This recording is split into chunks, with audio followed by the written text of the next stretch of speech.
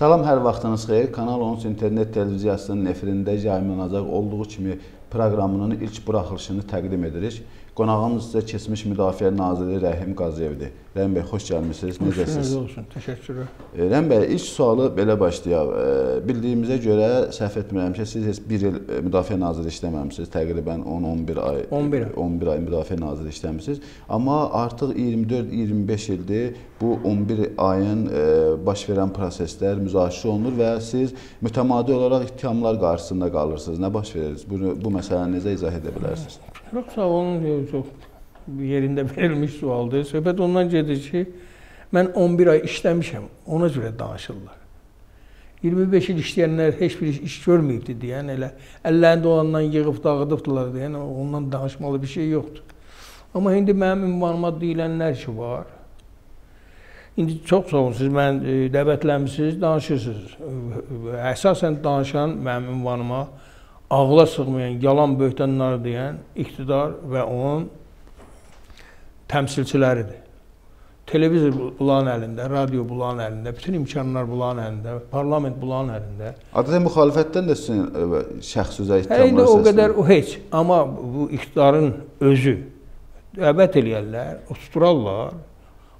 Məhkəmədə uzun illər getdi, mənim günahım nə olduğunu elə ortaya qoya da bilmədilər, YouTube-da da var. Amma təəssüflər olsun ki, bunlar ona cəsarət eləmirlər. Elə bir neçə gündən sonra, təxminən bir 15 gündən sonra mənim azadlığa çıxmağımın 12 ili bitir. 2005-ci ildə mart ayında. Onda e, spiker, parlamentin spikeri mərhum Murtuza Ələsgərov. Murtuza Ələsgərovdur. Elə bir 15 gündən sonra mən gördüm onda az-az da olsa parlamentdən e, e, epizodlar, parçalar verirdilər. Orada dedilər ki, bəs e, işğal altında olan torpaqların müzakirəsi gedəcək. Mən bir teleqrama vurdum. Sonra cavab gəlmədi. 3 gündən sonra bir də teleqrama vurdum. Həmin teleqramaların e, surətləri də məndə durur. Göndərdiyim qaimələr, yəni Gör ikinci teleqrama gedəndən sonra elə Teleqramanın əsas mövzusu nə idi? Nə, Kimi, nə əgər işğal altında olan yəni, torpaqların müzakirə gedirsə, mən hökmən orada iştirak eləməliyəm. Hı -hı. Özdə hörmətli parlamentlərə, deputatlara əvvəldən deyirəm ki, mən e, e, təqsirləndirilən şəxs kimi ora gəlmək e, də razıyam, amma tək mən mənsiz mənim ünvanıma deyilənləri indi məni oturub mənə sual verin. Və cavab alın. Artıq siz e, torpaqların işğal olunmasında böyük məsuliyyət sizin üzərinizə qoyulmuşdur. Bəli, həm bütün dövrlərdə o mənim üstümə qoyulubdu, amma hələ bir dənə ortaya sübut qoyulmayıbdı. Mənim ikinci teleqramım gedəndən sonra həmin Murtuz Ələsgərov özü parlamentdə dedi ki, e, işğal altında olan torpaqların parlament müzakirəsi gündəlikdən çıxarıldı. Əssalam. Bundan da qutardı. İndi mən 11 ay işləmişəm. 11 ay müddətində nə görmüşüksə, indi çox e, qürur hissi ilə deyirlər ki, e, Azərbaycanda heç bir ölkənin ordusu yoxdur, ordu dövrdə çıxıb. Heç bir e, strukturu hazır olmamış Müdafiə Nazirliyinin strukturu yarandı. Qoşun növləri yarandı. Bugünkü, yəni o NATO standartına uyğun dövr yarandı. Dağlıq Qarabağın ümumi ərazisinin 52% işğaldan azad edildi. Baxmayaraq ki, çox ağır bir siyasi, ictimai bir dövrün, vulkan kimi qaynayan bir dövrdə biz Şuşalasını itirdik. Amma ondan qısa müddət sonra Ağdərəni, Gülüstanı, Şamiyan kəndi, Laçının 67 yaşayış məntəqəsini təzəldən geri aldıq. Uğurlarımız başladı. Həmin müddətdə qeyrətli balalarımızdan yaratdığımız ilk hərbi dəstələrin, hərbi hissələrin e, iştirakı ilə ordunun qurulmasının birinci il dönümünü də keçirdik. İşlər gördük. Yəni azmı, çoxmu həmin müddətdə iş gördük. Azərbaycandan e, keçmiş Sovet Rus ordusu Azərbaycan Demokratik, e, Demokratik Respublikasını işğal etmiş 11-ci Qızıl Ordunun e, xələflərini çıxartdıq Azərbaycana, öz ordusu yarandı. Yəni deyirsiniz ki, e, iş görülən yerdə danışıq da olar. Danışıq olar, amma bilirsiniz, bir var ədalətli danışıq olar. Şübhəsiz mən işləmişəmsə mənim səhvim də günahım olmur. Çünki mən işləməsəydim ancaq qəbirstanda yatan ölülər günah eləmirlər. Hələ ki mənfiləri deyirlər, yəqin ki müsbətlər də deyiləcək. Yox, heç müsbət deyən yoxdur. Heç onu fikirləşmirlər. Rəhim bəy, söhbət Qarabağdan düşmüşəm və Ordudan düşmüşəm. İndiki cəbhə və cəbhədə baş verən proseslərə fikri yönəltmək istəyirəm Çox. mən. Siz bu haqqda fikirlərinizi alaq. Mən həddindən artıq çox diqqətlə izləyirəm hər bir itişimiz mənə ürək ağrısıdır, hər birimizə ürək ağrısıdır. Elə ilk növbədə bu son vaxtlarda da birinci gündən bu günə qədər torpaq üçün canlarını verib şəhid olan bütün şəhidlərimizin müqəddəs ruhu qarşısında həmin o şəhidləri yetirmiş valideynlər qarşısında baş əyirəm. Onlara Allahdan rəhmət, o övladları qeyrətli, yəni bizim qızıl fondumuz olan o şəhid balalarımızın övladları yetirilmiş valideynlərə Allahdan səbir diləyirəm. Canlarını, Allah sağlamlıqların böyük hissəsini verib bu günlər çox ağır ehtiyac içində yaşayan möhtərəm qazilərimizin qarşısına baş əyirəm. Onlara dözüm, səbir və indiki iqtidara da bir balaca ədalətli mövqe tutmaq arzulayıram onlara qarşı. Çox, amma son vaxtlar gedən proseslərdə təbii ki, ordudur, müharibədir, burada uğurlu, uğursuz cəhdlər, əməliyyatlar da olur. Amma çox təəssüf eləyirəm ki, bugünkü ordu rəhbərliyində artıq qocalmağa başlamış. Konkret 24 il baş qərargah rəisi olan Nəcməddin Sadıqovun və başqalarının hələ ki məsuliyyət ortaya qoyulmur bəzi məqamlarda çünki uğursuz əməliyyatlar və axırıncı bu şeydəki bizim qeyrətli balalarımız şəhid olub neytral zonada qalmışdılar. Onların e, nəşləri cənazələri. Bəli, cənazələr orada qalmışdı. Söhbət ondan gedir ki, burada söhbət ermənilərin hücumundan gedir. Və nə üçün? Niyə?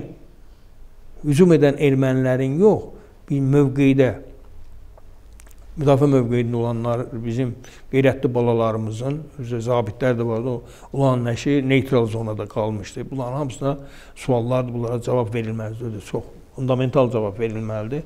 Təəssüflər çox təəssüf istəyirəm. Mən çünki Nəcməddin Sadıqovu çox yaxşı tanıyıram.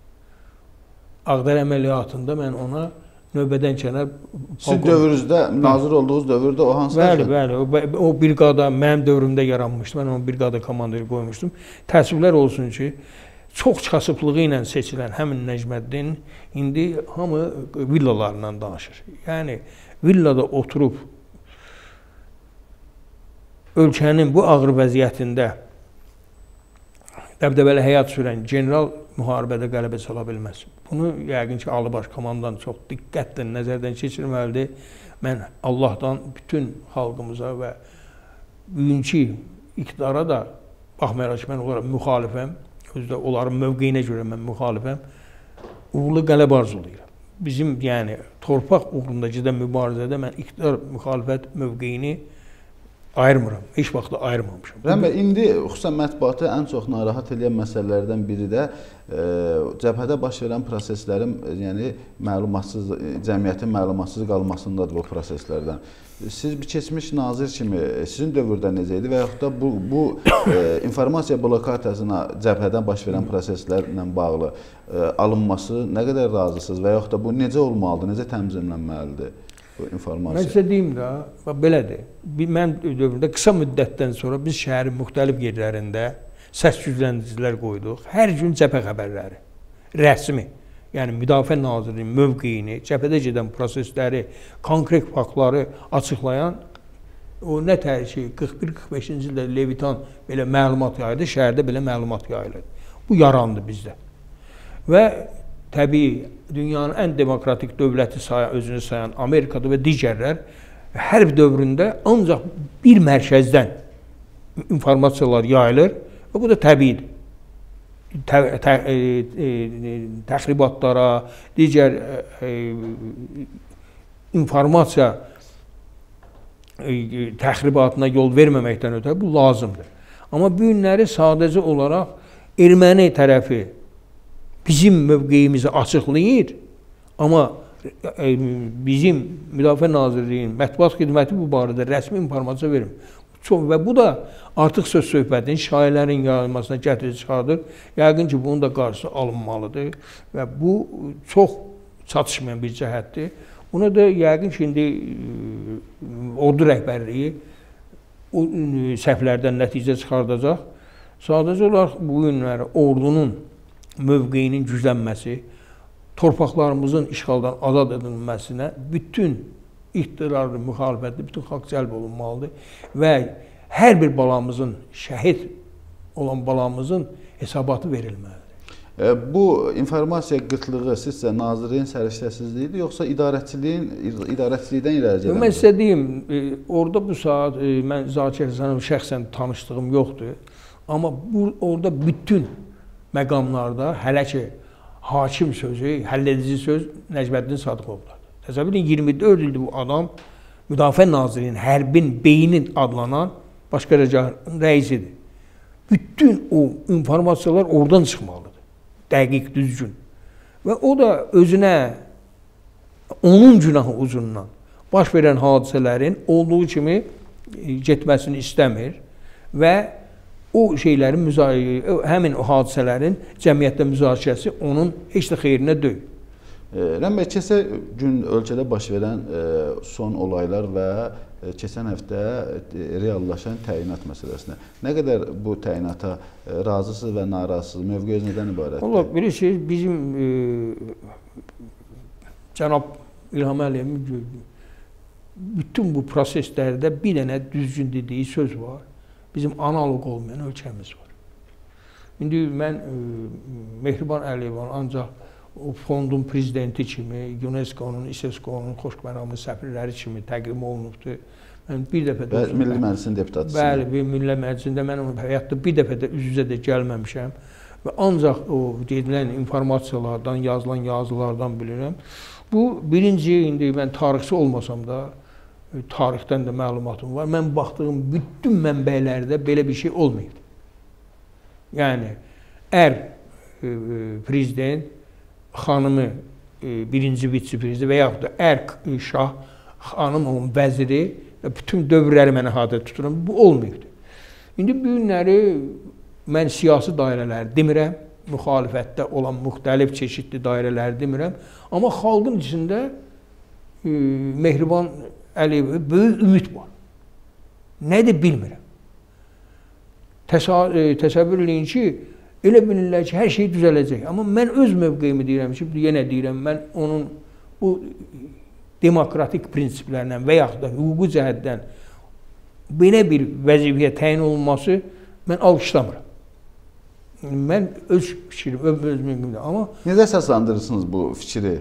Yəni Mehriban xanım öz vəzifəsinin öhdəsindən gələ bilməyəcəkmi, yoxsa yox, bu mən o barədə hər hansı bir ciddi yox, islahatı deyil və Cavid bəy, sadəcə olaraq bir prinsip var. Ər arvad münasibətləri və prezident vitse-prezident münasibətləri. Bunlar bilirsiniz, mənim aləmimdə bir mövqeyə, bir qaba sığışmayan bir şeydir. Mən özüm yenildim, öz fikrimi deyirəm. Mənim fikrim subyektivdir. Amma indi sadəcə olaraq bu mövqeyə bunlar gəlibdilər. Mən dedim ki, xalqda da mən adi adamlarla söhbət eləmişəm, böyük bir ümid yaranıbdır. Hətta xanım doğrudan da nə isə eləmək istəsə, başdan ayağa bu korrupsiyalaşmış, rüşvətə çulğalaşmış, rüşvətlə daha yoğrulmuş bu rejimin içində xanım doğrudan da real addımlar atmaq istəsə, belə gəlici xanımlar da çox çətin olacaq. Hətta onun fiziki məhvinə qədər gətirib çıxarılacaq. Mən heç bundan qorxmuram. Cəsarət. Yəni hakimiyyət daxili o qədər ə, e, klanlar ay başına dönüm. Bu ölkədə ancaq israfçılıq xalq malını yerə zibilliyi atıb üstündən tapdamaq prinsipi gedir. Konkret faktları deyəm, bir iki dənə çox uzağa getmir. Bax birinci bizim prezidentimiz 2015-ci ildə yanvarın 10-unda dedi ki, Azərbaycan manatı sabitdir. Onu heç bir təhlükəsi yoxdur. Hətta xarici investorlar da dəvətlədi. Gəlin e, e, investisiya qoyun, pul, pul qazanın. Və bu sabitdir. Dünyada elə yoxdur. Bundan cəmisi bir ay 7 gün keçdi. Bu gün də Milli Bankın əvəzsiz e, sədri olan Elman. Rüstəmov 17-si fevralda çıxdı. Dedi bizə xoşu gəlməyən qüvvələr e, e, e, tə- təxribat məqsədi ilə manatın tezliyi ilə gücdən qüvvə- qüvvədən düşməsini deyəcəklər. Manat çox sabitdir və buna heç kim də şübhə eləməsin. Heç bir dəyişiklik olmayacaq. Cəmisi 4 gün keçdi. Fevralın 21-də bu bankir demək olar ki 20 il bankın başında oturan bu adamın dediyi eybəcər şəkildə təhrif olundu. Gecə yatdıq, səhər-səhər e, təbii ki, mənim heç bir bankda pulum zadım yoxdur. Banka əmanətini qoyan insanların birdən-birə 34 faiz e, e, kapitalı dəyərdən düşdü. Həmin gün bu adam istefa verməli idi. Həmin gün və prezident də çağırıb soruşmalı idi ki, prezident o sözü boşdan demirdi ki, gəlin investisiya qoyun. Prezidentə Maliyyə naziri ondan canım sağ söyləsin, bank, bank və maliyyə bunlar hamısının verdiyi hesabat var. Və prezident bunlardan niyə hesabat tələb eləmədi? Birinci, bütün cəmiyyət qarşısında prezidenti yalançı çıxartdılar. Sizə niyə tələb eləmədi ölkə başçısı hesabat? Yəqin belə hesab eləyir ki, elə belə olmalıymış. Çünki İlham Əliyev anadan olandan bu gününə qədər ehtiyac hiss eləmirdi. Heydər Əliyevin ailəsində böyüyübdü. Hər şey qarşısında hazır olubdu. Məsələn mən de, de, çox belə e, qətiyyətlə deyim ki, İlham, e, İlham Əliyev təsəvvür eləmir ki, məsələn nahar fasilə, nahar yeməyində və ya səhər yeyəndə stolun üstündə qara və ya qırmızı ikra olmaya bilər. Amma bu gün onun idarə elədiyi ölkədə böyük ehtiyac var. İnsanların ehtiyacı gündən-günə artır. Bunu da bundan məlumatlandırmırlar. Bu da bu xalqın içində böyüməyibdi. Məhəllədə böyüməyibdi. Hamı ilə bir yerdə ünsiyyət eləmir. Yəni deyirsiniz İlham Əliyev özü e, mətbuat, məlumat blokadasındadır. Ona Məlumat görə- blokadasındadır şübhəsiz. Çünki onu əhatə edən dairə sərdən axşama kimi ona tərif deyir. Mən konkret bir misal deyim. Bir illik Əbülfəz bəy iht- e, iqtidarında Əbülfəz bəy də xalqın içindən gəlmiş bir adam idi da, eləmi? Bəli. Onun ətrafında isə onu elə əhatə eləmişdilər ki, dəqiq informasiyalar Əbülfəz bəy 3 aydan sonra çatmırdı. İndi təsəvvür anadan olundan bugünkü günə kimi tamamilə bir başqa bir atmosferdə, başqa bir iqlimdə, başqa bir şəraitdə yaşayan adam xalqla əlaqə yaratmırsa, ünsiyyəti yoxdursa, o xalqdan içində gedən oyunları görə bilməz. Xalqın dərdini duya bilməz. Kim deyəcək ona? Hansı deyəcək ona? Onu da aparırlar, prezidentimiz gedir rayonlara. Siz təsəvvür edin, eyni adamlardır. Girirlər, hamı prezidentə əl çalır, o Kamilxan xanım kimi. Ki, vay, ölkənin bu boyda problemləri var. Ölkədə dəhşətdir. Səhiyyə, təhsil, ədliyyə ağla sığmaz vəziyyətdədir. Rəhm bəy, üzr istəyirəm, axı indi texnologiya əsridir. Bəzi şey Elçi bəyin dövründə internet yox idi və ancaq məcbur idi ki, canlı kimlərdənsə informasiya alsın. Axı indi istənilən halda e, prezident, cənab prezident hər hansı bir kompüter arxasında oturub ölkənin vəziyyəti ilə tanış ola bilər. Yəqin heç mən şübhə eləmirəm ki, Yəni deyirsiniz internetini də kəsiblər? Yox, internet niyə kəsir? Prezident internetdə baxır beynəlxalq oyunlara, onu maraqlandıran qəşəng əyləncəli e, proqramlara. Baxmır xalqın e, bu, bu müxalifətin yox, xalqın adicə adamlarının internetə, YouTube-a qoyduqlarına baxsa bəsdir.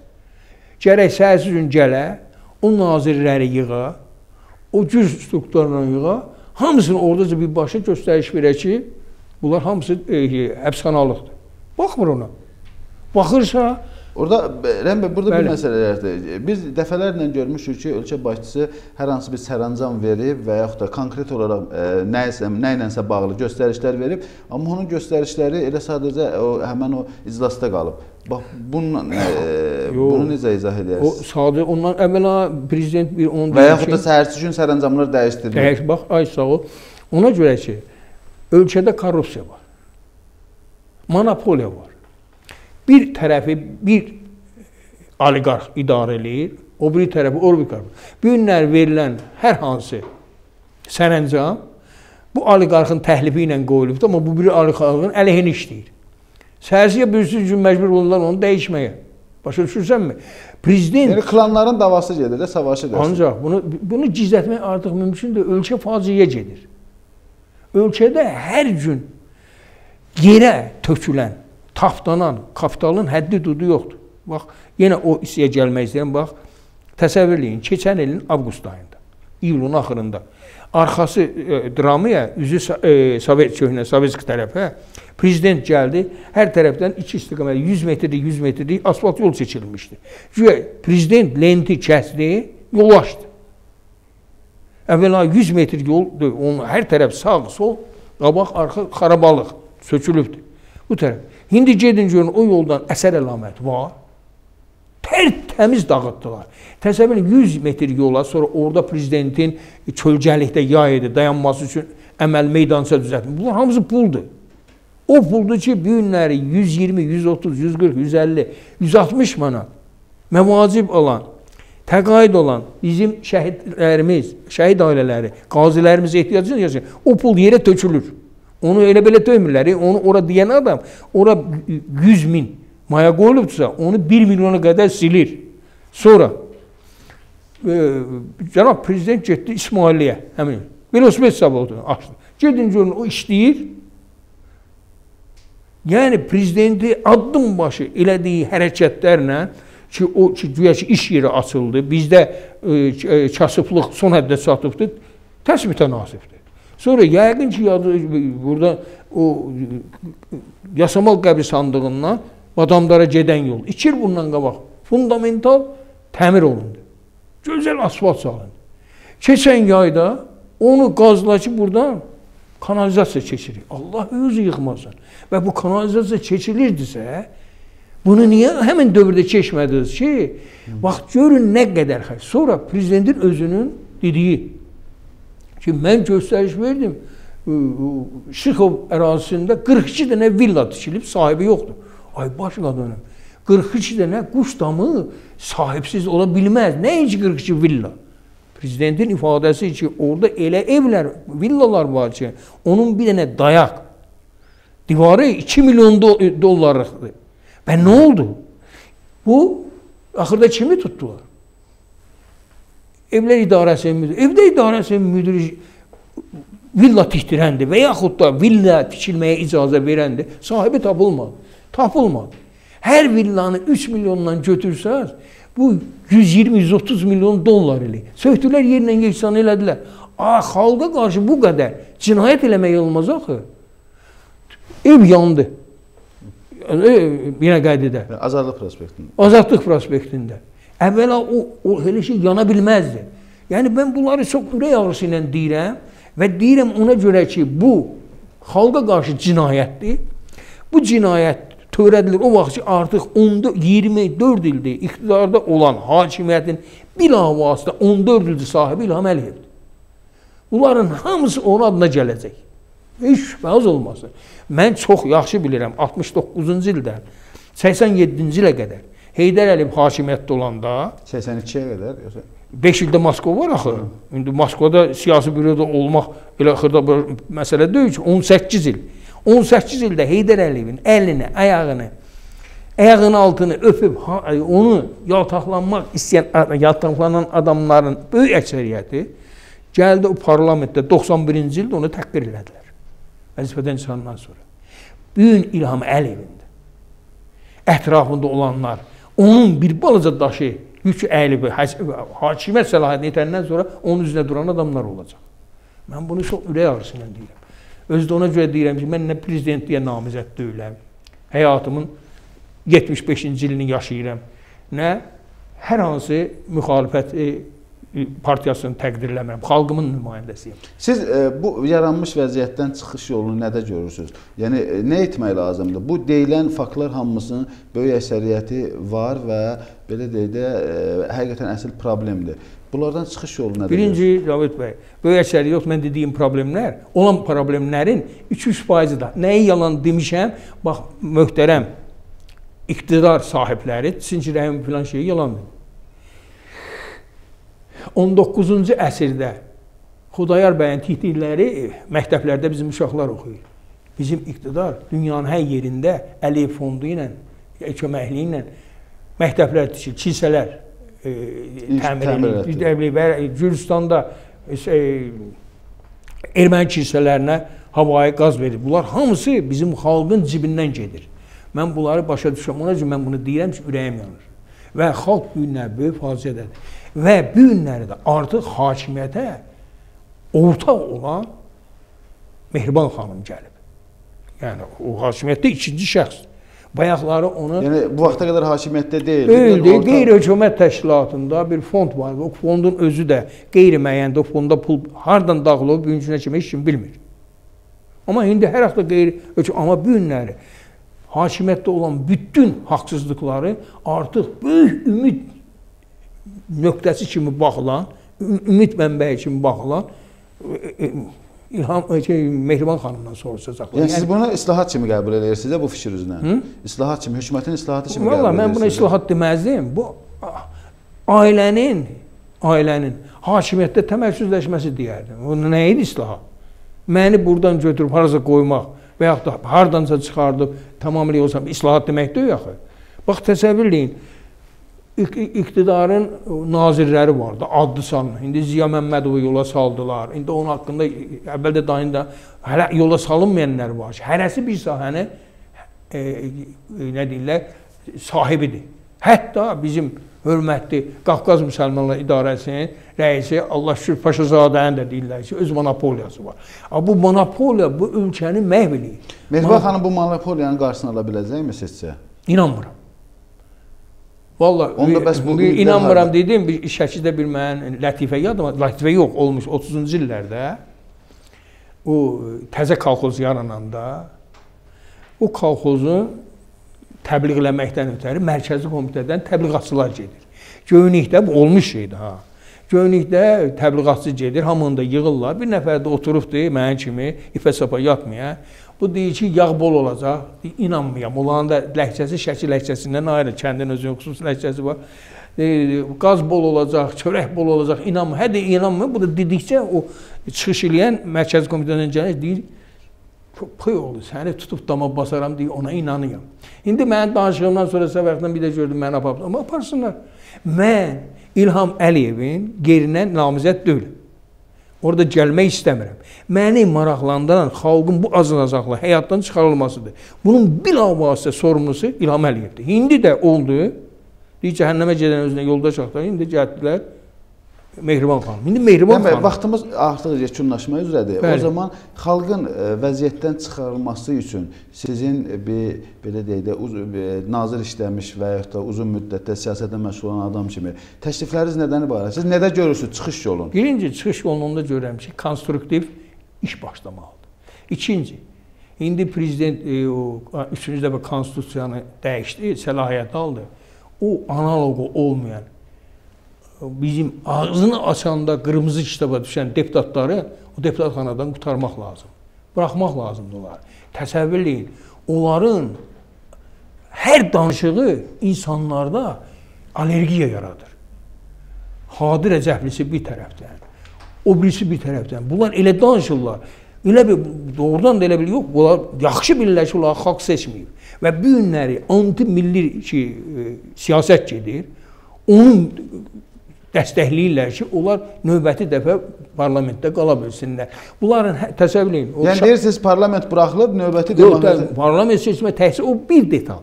Amma sadəcə olaraq İlham Əliyev xalqla ünsiyyətdə olmalıdır. Xalqla ünsiyyətdə deyil.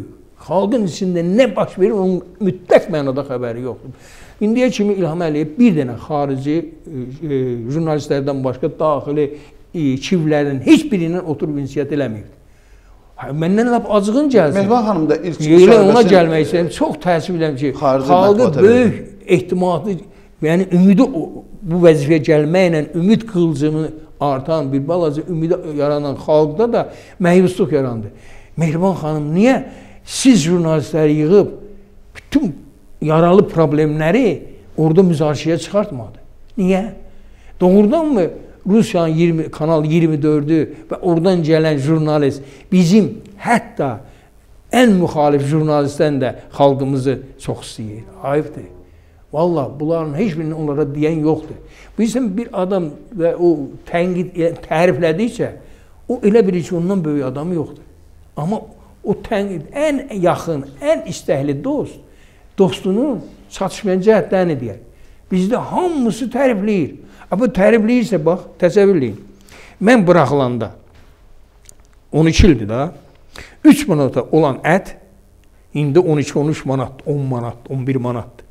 2 manat 80 köpüyə 3 manata olan yağ 15-20 manatdır. Hər şey qalxıb. Paltarda, hər şey. Təsəvvür edin, çox üzr istəyirəm. O kişilər üçün ki, üzə qırxandan sonraki krem sürtürlər. 40 köpük idi. 1 manat 20 köpük, 1 manat 30 köpük olubdu. Hər şey 100, 150, 200, 300% qalxıbdı.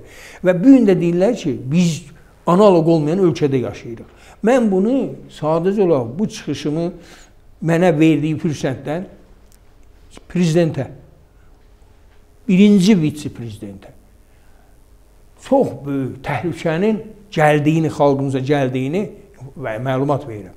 Heç nədən çəkinmədən, heç nədən qorxmadan mən burada qısa müddətdə nə deyə bilərdim ki? Amma həmin Şahverdiyev kimi adamların Azərbaycan xalqını atxod adlandırıb parlamentdə oturması o parlamentə gündən-günə nifrət edir. Çünki Rusiyada yox, bütün dünyaya dağılmış Azərbaycanlıların içində çox qeyrətli insanlar var. Çox böyük alimlərimiz var, çox böyük iş adamlarımız var. Onları təhqirləmək olarmı? Şəhid ailələri var. Ehtiyac içində göstərirlər də indi şəhid dəfn olunanda evini göstərirlər. Bəs o villada yaşayanlar, bu günləri Mehman Hüseynovu tuturlar ki, o villaları tutub şeyə göstər, göstər. Ayıbdır. Və prezident bunu buna sərəncam getməlidir. Bu heç heç olmasa indi yeni nəfəs deyirlər. Bu əslində Mehriban xanım yeni nəfəs deyil, var. Onun da orada müsbət cəhətləri var.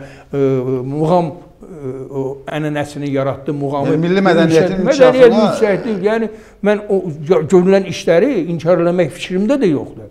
Amma mərkəzi bəziyə-bəziyə durub kənarlardakı zibilxanaları görməmək faciədir. 1 kilometr yola olan xərcdən 10 dəfə artıq yola xərc qoyub onu cibə qoymaq millətə xəyanətdir. Təsəvvür eləyin. Bakı şey SDK Samur Dəvəçi kanalı Rusiya yolunda o 40 il 50 illik e, zəmanəti ilə beton yol tikildi. Gedin baxın. Nə gündədir? Hər gün təmir eləyirlər.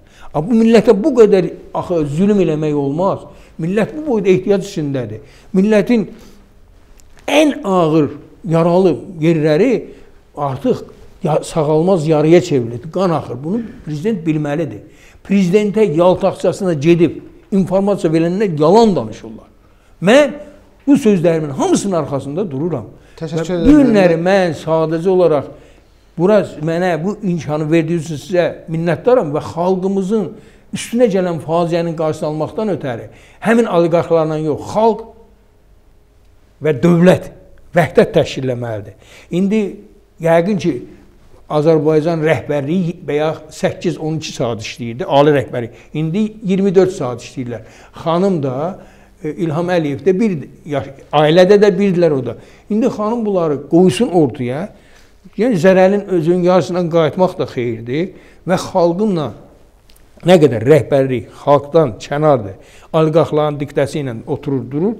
Bundan böyük faciələr gözlənir və Allah o faciələrdən bizi qorusun. Təşəkkür Rəhim bəy, sevimli izləyicilər, biz olduğu kimi ilk buraxılışını keçmiş Müdafiə naziri Rəhim Qazıyevlə yəni təqdim etdik və siz də bunu izlədiniz. Çalışın olduğu kimi izləyin, çünki burada hər şey olduğu kimi olacaq. Təşəkkür edirəm.